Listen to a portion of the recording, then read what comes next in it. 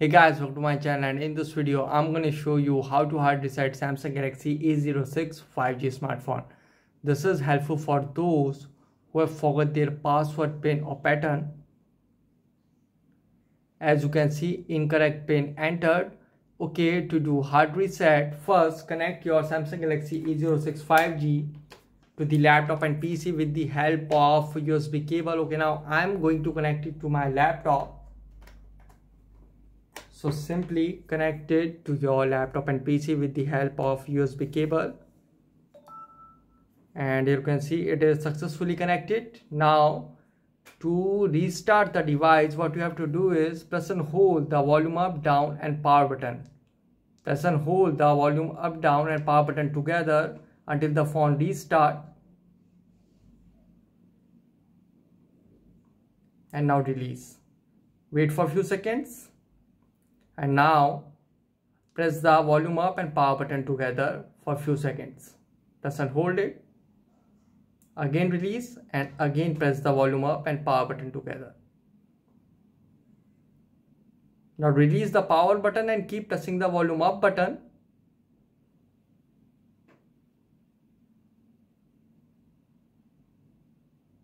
And you can see it will send you in Android recovery mode. You can see now you are in Android recovery mode.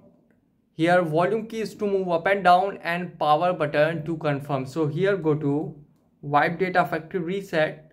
You can see if your phone is reset, you will need to enter the Google account information, email address and password associated with this phone to be able to use it again so wipe data factory reset confirm it.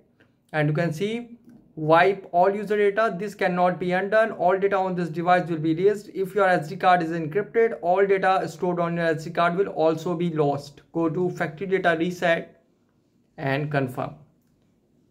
And you can see data wipe complete. Now simply reboot system now and guys after a hard it might take some time to boot up the device and as i said after hard reset again ask for password pin or pattern use previously logged in google account to unlock the phone. So guys this is a method to hard reset samsung galaxy a06 5g smartphone easily. Guys thanks for watching. If you have any query related to video let me know in comment section below. Please like share subscribe and click on bell icon for the latest updates